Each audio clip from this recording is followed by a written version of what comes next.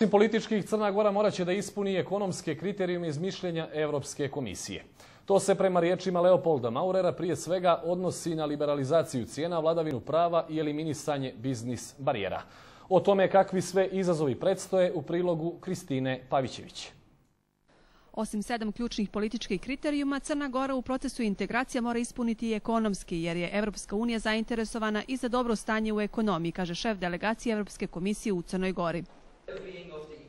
Evropska unija obraća pažnju na strane privrede i možda upravo zbog sedam ključnih političkih prioriteta niko nije obratio pažnju na ekonomske kriterijume koje Crna Gora mora da ispuni. Maurer je precizirao da se ekonomski ili kopenhaški kriterijumi odnose na funkcionisanje tržišne ekonomije, odnosno liberalizaciju cijena, vladavinu prava, poštovanje vlasničkih prava, eliminisanje biznis barijera. Što više uradite u toj oblasti, imaćete više stranih direktnih investicija. Zato treba obratiti pažnju na trajanje sudskih procesa, izdavanje građevinskih dozvola, plaćanje taksi i poreza. Proces restitucije takođe traje dugo.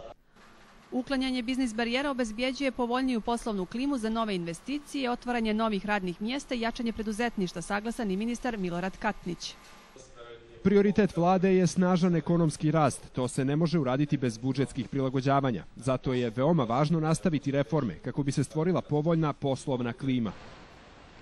Crna Gora će naredne godine biti jedna od malobrojnih država koja će ispoštovati kriterijume iz Maastrichta i time pokazati Evropskoj uniji i poslovnoj zajednici da je fiskalno održiva, što je važno za investicije. Budžetski deficit biće ispod 3 od 100 bruto domaćeg proizvoda. Imaćemo suficit u budžetu, dok će dug biti znatno ispod 60 od 100, što je u skladu sa kriterijumima iz Maastrichta. U vremenu krize Crna Gora nije povećala glavne poreze, čim je održala konkurentan porezki sistem.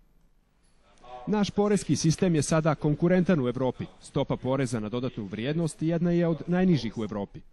Projektovani rast od 2,5% je dostižan, vjeruje ministar Katnić i dodaje kako očekuje smanjenje potrošnje na 45% bruto domaćeg proizvoda, što će stabilizovati javne financije.